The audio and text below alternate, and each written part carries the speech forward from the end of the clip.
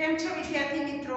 આપણે ગયા લેક્ચરમાં જે આપણી રાજ્ય કક્ષાએ, બરાબર? રાજ્ય કક્ષાએ જે ધારાસભા છે એની વાત આપણે કરી હતી. ત્યાર પછી આજે આપણે જે રાષ્ટ્રપતિ છે આપણા દેશના બંધારણીય વડા, એની શું લાયકાત છે, એને શું કાર્ય કરવાનું, એ બધી આપણે વાત કરીશું, બરાબર? હવે આ જે પ્રશ્ન છે એ નોંધમાં પણ પૂછાઈ જાય, હો, ત્રણ અથવા ચાર માર્ક્સની અંદર. એટલે ધ્યાન રાખજો, બરાબર? તો રાષ્ટ્રપતિ. યાદ રાખવાનું દેશના જે બંધારણીય વડા, બરાબર ને? આ તમને ખબર છે, વિદ્યાર્થી મિત્રો, કે આપણું બંધારણ, બરાબર ને? બંધારણ જે છે, એનું સ્થાન સૌથી ઊંચું છે, બરાબર? બંધારણ તો એક ગ્રંથ છે, પુસ્તક છે, આપણું એક દસ્તાવેજ સ્વરૂપનું છે, બરાબર? લેખિત સ્વરૂપમાં છે. તો એના મુજબ શાસન ચલાવવાનું છે, બરાબર? તો એ બંધારણ મુજબ દેશના સર્વોચ્ચ વડા એટલે કોણ? રાષ્ટ્રપતિ. તમને હેતુલક્ષી પ્રશ્નો પૂછે છે કે દેશના બંધારણીય વડા કોણ? તો કે રાષ્ટ્રપતિ, બરાબર? ત્યાર પછી યાદ રાખવાનું, આ પણ પૂછાઈ જાય ત્યાર પછી જે દેશના પ્રથમ નાગરિક યાદ રાખવાનું હો, આ અટપટી રીતે પણ પૂછે છે કે દેશના પ્રથમ નાગરિક કોણ કહેવાય? તો કે રાષ્ટ્રપતિ. તો તમને પૂછે કે દેશના જે પ્રથમ નાગરિક રાષ્ટ્રપતિ, તો રાજ્યના પ્રથમ નાગરિક કોણ કહેવાય, બરાબર? તો યાદ રાખવાનું કે જે રાજ્યપાલ છે ને, એ આપણા જેમ રાષ્ટ્રપતિ છે, એવી રીતે રાજ્યમાં રાજ્યપાલ હોય, બરાબર? તો એ આપણા બંધારણીય વડા એટલે ત્યારે રાજ્યમાં પ્રથમ નાગરિક કોણ કહેવાય? રાજ્યપાલ. એ પછી વાત કરશું બરાબર? સૌથી પહેલા આપણે જોઈ લઈએ કે બંધારણીય વડા એટલે કોણ? તો કે રાષ્ટ્રપતિ બરાબર? ત્યાર પછી ભારતીય પ્રજાસત્તાક અ, બરાબર? જે આપણો દેશ છે પ્રજાસત્તાક રાજ્ય કહેવાય બરાબર? પ્રજાસત્તાક દેશ કહેવાય ઈસવીસન ઓગણીસો ને પચાસથી બરાબર? તો એના પ્રથમ નાગરિક એટલે કોણ? રાષ્ટ્રપતિ. યાદ રાખજો તમે પૂછાશે બરાબર? ત્યાર પછી એની લાયકાત, બરાબર ને? લાયકાતમાં આ જે છે, એ ભારતીય નાગરિક, એ તો હોવા જોઈએ, ભારતના નાગરિક હોવા જોઈએ, બરાબર? ત્યાર પછી એની વય મર્યાદા કેટલી હોવી જોઈએ? પાંત્રીસ કરતા વધારે, બરાબર ને? પાંત્રીસ વર્ષ પૂરી થઈ ગઈ હોવી જોઈએ, બરાબર? તો એ પાંત્રીસથી વધુ. ત્યાર પછી સવેતન નોકરી, બરાબર ને? એટલે પગારદાર કર્મચારી ન હોવા જોઈએ, સરકારી નોકરી કરતા. હોવા જોઈએ ને નોકરી કરતા હોય. તો રાજીનામું આપી દેવું પડે, બરાબર? તો એ ન હોવા જોઈએ. નફાકારક હોદ્દો જેમાંથી કરપ્શન કરી શકાય, ભ્રષ્ટાચાર કરી શકાય, એવો નફાકારક હોદ્દો કે પગારદાર કર્મચારી હોવો ન જોઈએ. બરાબર ને? ત્યાર પછી સંસદ કે પછી એને એમ થાય, બરાબર? ચૂંટાઈ આવવું એ તો નક્કી છે કે પોતે ચૂંટાઈ આવ્યા, બરાબર ને? લોકસભામાં કે રાજ્યસભામાં. હવે એમાંથી જે રાષ્ટ્રપતિની નિમણૂક થાય, બરાબર? તો એને એમ થાય કે રાષ્ટ્રપતિ ન બનાય તો કઈ નહીં, કે આપણે એક ગૃહના સભ્ય તો લઈશું તો એવું ચાલે નહીં, બરાબર ને? એનો જે સભ્ય તરીકે જે પદ છે, એનો શું કરવું પડે? ત્યાગ કરવો પડે, બરાબર? તો એ સંસદ કે રાજ્યની ધારાસભ્યના કોઈ પણ સભ્યો ન કહેવાય પછી, બરાબર ને? ત્યાર પછી ચૂંટણી સંસદના બંને ગૃહોના વિધાનસભાઓના ચૂંટાયેલા સભ્યો દ્વારા. તો એ જે રાષ્ટ્રપતિ છે, એની ચૂંટણી કઈ રીતે થાય? તો કે આપણું જે ગૃહ છે, સંસદ, એના લોકસભા અને રાજ્યસભા બરાબર? લોકસભાના પાંચસો ને પિસ્તાલીસ અને જે રાજ્યસભાના કેટલા? તો કે બસો ને પચાસ, બરાબર? તો એ લોકસભા અને રાજ્યસભાના ચૂંટાયેલા સભ્યો, ત્યાર પછી જે બધા રાજ્યો છે, આપણા દેશના બધા રાજ્યો, બરાબર? તો એની અંદર જે કઈ વિધાનસભાઓ છે, એના સભ્યો, બરાબર? તો એના દ્વારા રાષ્ટ્રપતિની નિમણૂક કરવામાં આવે છે. લોકો મત આપે એટલે પરોક્ષ રીતે, બરાબર ને? આપણે બધા મત નથી આપતા. તો આ જે એના ચૂંટાયેલા સભ્યો દ્વારા આપવામાં આવે. પછી એની મુદત કેટલા વર્ષની હોય? તો કે પાંચ વર્ષ, બરાબર?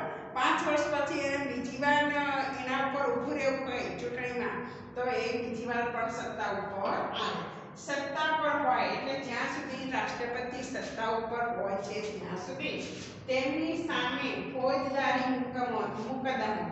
ફોજદારી ગુનો એટલે જ- જે હત્યા, ખૂન, કેસ, બરાબર ને? મારામારી. તો એને ફોજદારી મુકદમો કહે મુકદમો એટલે કેસ, બરાબર? તો એના ઉપર કોઈ પણ જાતનો કેસ મૂકી શકાતો નથી, બરાબર? ફોજદારી ગુનો મૂકી શકાતો નથી. બરાબર? ત્યાર પછી એમની એમની જ્યાં સુધી સત્તા ઉપર છે ને, ત્યાં સુધી ધરપકડ કે કેદનો હુકમ પણ થઈ શકતો નથી, એટલે એમની ધરપકડ કરી શકાતી નથી એવું બંધારણમાં આપેલું છે, બરાબર? એટલે એનો હુકમ પણ થઈ શકતો નથી.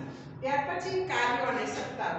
રાષ્ટ્રપ્રમુખે કયા કાર્યો કરવાના એ જોઈએ અને એની સત્તાઓ. તો લોકસભામાં બહુમતી પક્ષના નેતાઓની વડાપ્રધાન તરીકે નિમણૂક કરો. હવે આ બાજુ ધ્યાન આપો કે આમાં શું હોય કે જે લોકસભાની ચૂંટણી થાય ને, ત્યારે જે પક્ષના સભ્યોની વધારે, એટલે એવું નહીં કે જે પક્ષના જે સભ્યો છે એની સૌથી વધારે એવું નહીં, પણ આપણી જે કુલ સંખ્યા કેટલી? તો કે લોકસભાની સભ્ય સંખ્યા પાંચસો ને પિસ્તાલીસ. એમાં અડધા કરતાં વધારે, બરાબર ને? અડધા કરતાં વધારે, એટલે ઓછામાં ઓછી પાંચસો ને બોતેર તો હોવી જોઈએ, બરાબર ને? એટલા સભ્યો એના ચૂંટાઈ આવેલા હોવા જોઈએ. અને ન ચૂંટાઈ આવેલા હોય તો શું થાય? દાખલા તરીકે કોઈ કોઈક જે પક્ષ છે, બરાબર? તો એના પાંચસો ને બોતેર નથી ચૂંટાયા, એના ઓછા આવ્યા છે, બરાબર? તો એની એની સરકારી રચના ન થાય પરંતુ એ જે પક્ષ છે, એ બીજા જે ઓછા પક્ષ હોય, બરાબર ને? એની સાથે એ શું કરે? જોડાણ કરી નાખે. અને એ જોડાણ થયા પછી, તો એની પછી બે ભેગા થાય ને, તો એની સંખ્યા શું થાય? વધી જાય, બરાબર? તો એવી રીતે ભેગા મળીને પણ સરકારની રચના થઈ શકે, પણ બને ત્યાં સુધી આવી રીતે જોડાણ થયેલી સરકાર છે ને, બહુ ચાલે નહીં. એટલે અહીંયા શું છે કે જે પક્ષના સભ્યો વધારે ચૂંટાઈ આવ્યા હોય, ઓછા ઓછા અડધા કરતાં વધારે, બરાબર? તો એવા જે પક્ષના સભ્યો છે, તો એના જે નેતાની વડાપ્રધાન તરીકે નિમણૂક કરે. એટલે એવું નથી હોતું કે લોકસભાના સભ્યો ચૂંટાઈ આવ્યા અને જે પક્ષ બહુમતી ધરાવતો થયો, બરાબર? તો એમાંથી વડાપ્રધાનને રાષ્ટ્રપતિને જે લાગે એની વડાપ્રધાન તરીકે નિમણૂક કરે એવું ન હોય, હો. કે એને એને શું કરવાનું હોય? કે જ્યારે લોકસભાના સભ્યો છે ને, એમાં બધાને પૂછવાનું હોય, એની બેઠક બોલાવવાની હોય કે તમે કોને એના વડાપ્રધાન તરીકે નિમણૂક કરવા માંગો છો એમ. બધું પૂછવાનું હોય ને પછી બહુમતી કે કે આ વ્યક્તિને અમે વડાપ્રધાન તરીકે નિમણૂક કરવા માંગીએ છીએ, બરાબર? એટલે લોકસભાના સભ્યો છે બહુમતી પક્ષના હોય અને જે એની નામ ડિક્લેર કરે, જાહેર કરે, એની વડાપ્રધાન તરીકે નિમણૂક કરવામાં આવી. એવું નથી હોતું કે મન ફાવે નિમણૂક કરેલી બરાબર? એટલે આવી રીતે શું થશે એ વડાપ્રધાન તરીકે નિમણૂક કરશે. એટલે બહુમતી ધરાવતા પક્ષની વડાપ્રધાન તરીકે નિમણૂક કરે બરાબર ત્યાર પછી છે વડાપ્રધાનની નિમણૂક થઈ ગઈ, બરાબર ને? ત્યાર પછી વડાપ્રધાનની સલાહ અનુસાર જુદા જુદા પ્રધાનમંડળી પ્રધાનોની નિમણૂક કરે પ્રધાનમંડળની ત્યાર પછી જે જુદા જુદા પ્રધાનો હોય ને, જુદા જુદા ખાતાઓની વહેંચણી કરે. કોઈને કૃષિ ખાતું બોલે, કોઈને નાણાં ખાતું બોલે, બરાબર? કોઈને વિદેશ ખાતે જે કાંઈ હોય. બરાબર? તો એ, એને શું કરે? શપથ આપણે ગીતા પર હાથ મૂકીને કસમ લેવડાવે કે મને જે હોદ્દો મળે છે અને એનું કામ સારી રીતે કરીશ, એવી રીતે કસમ લેવડાવવાની, બરાબર? તો એ શપથ લેવડાવે. ત્યાર પછી જુદા જુદા ખાતાની વહેંચણી કરે. મહેસૂલ ખાતું, શિક્ષણ ખાતું, નાણાં ખાતું, જુદા જુદા ખાતાની વહેંચણી કરે. બરાબર હવે આગળ જોઈએ. કે સંરક્ષણ. હવે આ ખાસ યાદ રાખજો છોકરાઓ. આપણા જે બંધારણીય વડા તો પણ સાથે સાથે આ સંરક્ષણ આપણા જે લશ્કર છે ને, એના વડા, બરાબર ને? હવાઈ દળ હોય કે પછી નૌકાદળ હોય, બરાબર ને? કે પછી પાયદળ હોય. તો ત્રણેય જે દળા, ત્રણેય જે લશ્કર છે, ત્રણેય દળો છે. એના સર્વોચ્ચ વડા બરાબર ને યુદ્ધને લગતી બધા નિર્ણય જે છે એ કોણ કરે? આપણા રાષ્ટ્રપતિ સંરક્ષણ દળના સર્વોચ્ચ વડા કરે. બરાબર? ત્યાર પછી એની જે કાર્યો છે એમાં અન્ય રાષ્ટ્રો સામે યુદ્ધ જાહેર કરવાની બરાબર ને આપણે બીજા દેશ ઉપર શું કરવાનો હોય? હુમલો કરવાનો હોય. અથવા તો યુદ્ધ ચાલતું હોય તો એ બંધ કરવાનું, યુદ્ધ બંધ કરવાની સત્તા બરાબર? ત્યાર પછી સંધિ સંધિ એટલે શું? સંધિ એટલે જે કરાર બે દેશો લડતા હોય ને યુદ્ધ વિરામ કરે ને, તો કરાર નથી કરે કે અમે તમારા પર યુદ્ધ નહીં કરીએ, તમે અમારા પર નહીં કરતા. એટલે જે કંઈક કરાર કરો સુલે સમાધાન. તો એને શું કહે? સંધિ, બરાબર? ત્યાર પછી બીજું શું નિમણૂક કરવાની? તો કે જુદા જુદા રાજ્યના રાજ્યપાલની નિમણૂક કરવાની, બરાબર ને?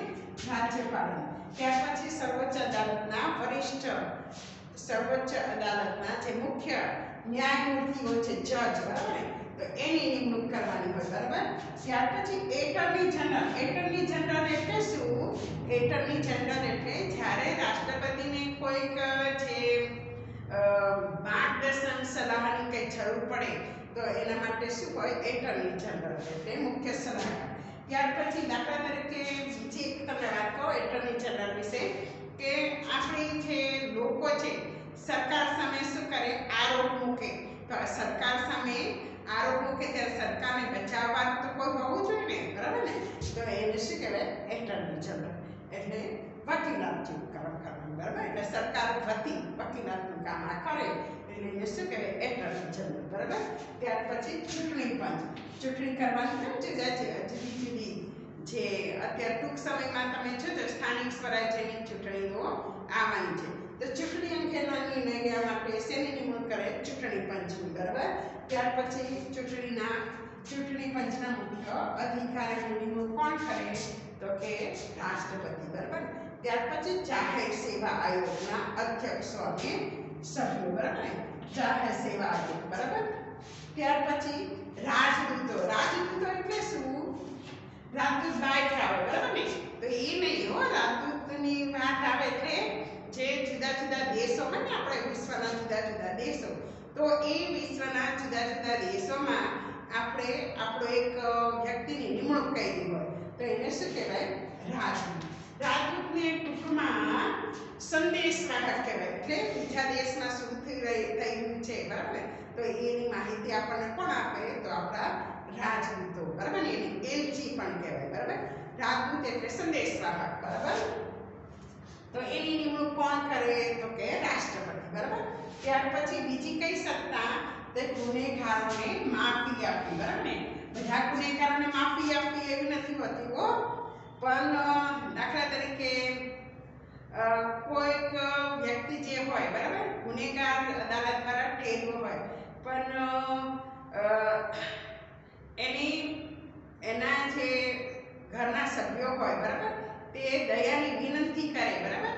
કે અમારા ઘરમાં આ ગુજરાન ચલાવવાળું કોઈ નથી, બરાબર? અથવા તો અમારે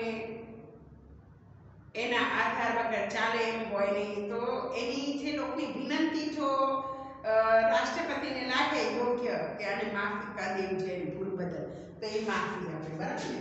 એટલે એને છે યોગ્ય લાગે તો જ આપે. એટલે બધા ગુનેગારને માફી આપવી જોઈએ એવું નથી હોતું.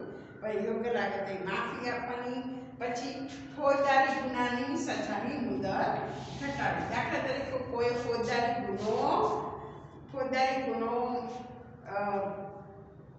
કર્યો હોય, બરાબર ને? એના ઉપર નક્કી થઈ ગયું, એને આટલા વર્ષની સજા. દાખલા તરીકે દસ વર્ષની સજા આપવામાં આવી હોય.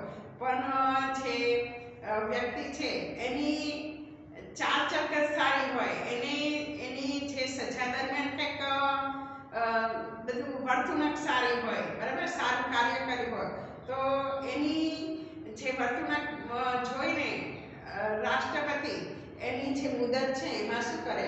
ઘટાડો. ઘણીવાર આપણે ફિલ્મોમાં બધે જોઈએ છે કે કોઈ વ્યક્તિની ચાલ ચલકત સારી હોય, તો એને એની બાકીની સજા શું કરવામાં આવે?